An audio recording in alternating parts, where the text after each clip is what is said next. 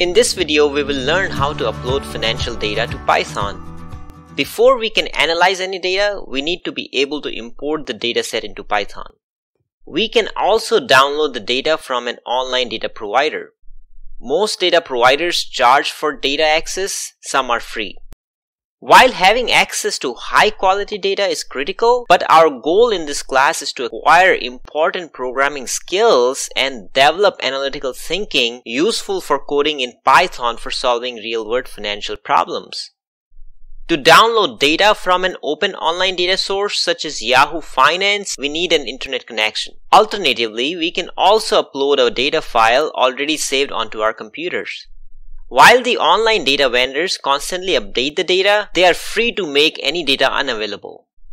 In this course, we will see how to work with the online data providers such as Yahoo Finance. We'll also do some exercises by uploading the data stored on our computer. While this data will not be up to date, it will remain on our computer until we delete these files. Let's first look at how to download the data from Yahoo Finance. Note that the data provider might change, but the process for downloading the data from an online source might remain similar to the one demonstrated in this video. To download the data from an online data source, we first need to import data from the pandas data reader package using the following line of code. We rename the package as WB for our ease of use. Recall we pip installed data reader in one of our previous videos. Let's download the data for Microsoft starting from January 2019 and let's call this dataset as MSFT. We can use data reader function and specify three parameters in the parentheses.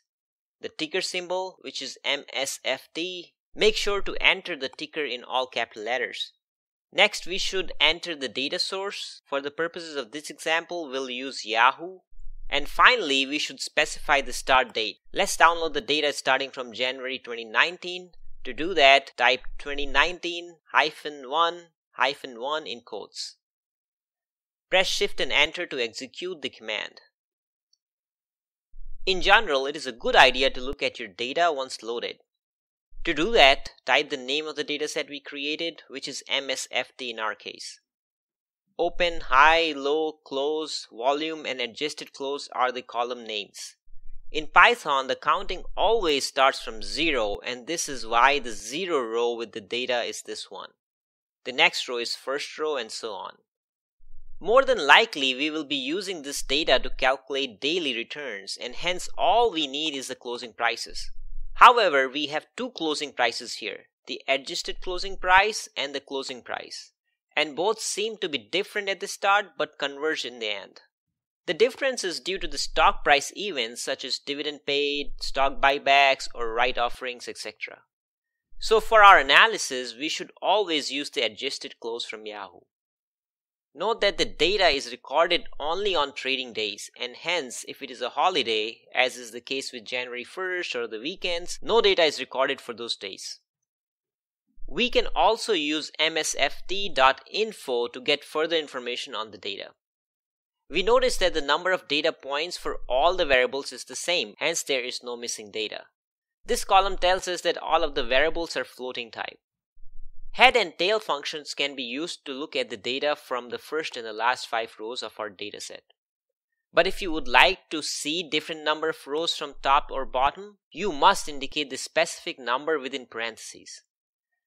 Let's see the first 30 rows in our dataset. The data looks good. So far we learned how to import data for one stock, but in practice we will almost always need the pricing data from multiple stocks.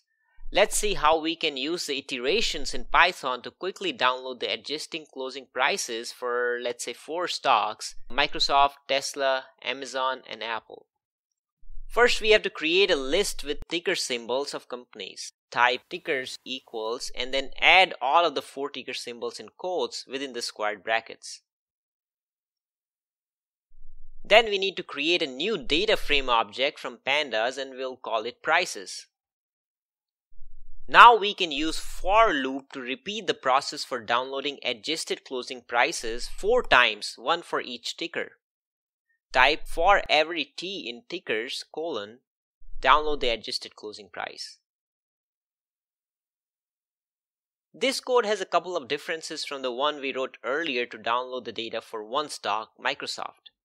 First, we have the index T containing the four tickers. And second, since we are only interested in downloading the adjusted closing price column, at the end of the code, we add ADJ close in quotes and within square brackets. Now we can see the data by executing these lines of code and typing the name of the dataset prices. The data contains adjusted closing prices for the four stocks. Looks good. In the next video, we will learn how to work with the data stored on the computer. Thanks for watching.